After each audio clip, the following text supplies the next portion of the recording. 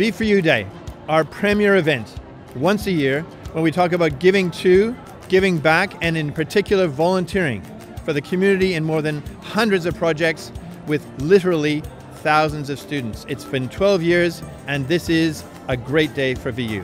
This morning, before going to this project, I was uh, meeting with my teammates in the Footscray Park campus, and we have a lot of fun, music, some food. We have I briefed my team with the project, with the schedule for the day, and uh, we had an icebreaker games. Just enjoyed the time.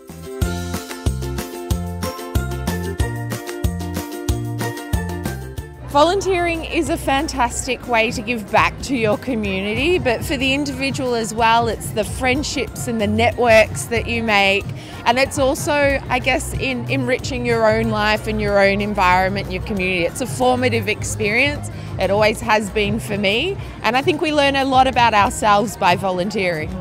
The time that it saved us has been really huge.